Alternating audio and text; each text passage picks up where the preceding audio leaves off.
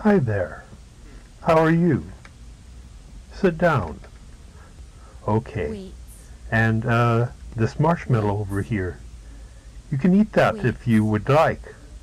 Or you can wait until I get back, and then I'll bring you another marshmallow. You can have two marshmallows. If you can wait. Wait. Wait.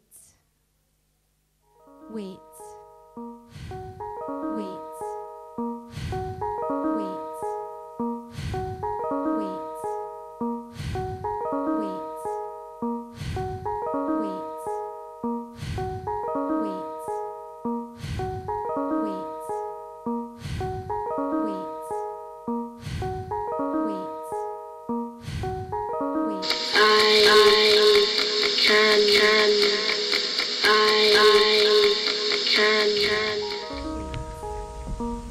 After around about 30 to 60 seconds, we find that the, uh, the children, children begin to try to distract their attention. They will try to do this in a number of ways.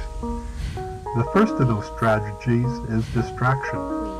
We see in our films that the children are kicking the table or counting numbers, singing songs, becoming an internal animal totem, channeling the spirits of recently passed popular musicians.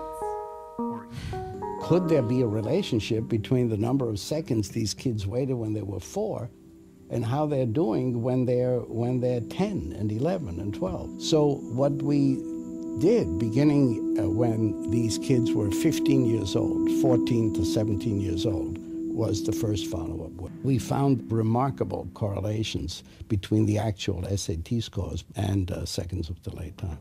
the differences are so big. You know, the difference between a kid who can wait one minute for the marshmallow and a kid who can wait 20 minutes, the difference in the SAT scores is 210 points.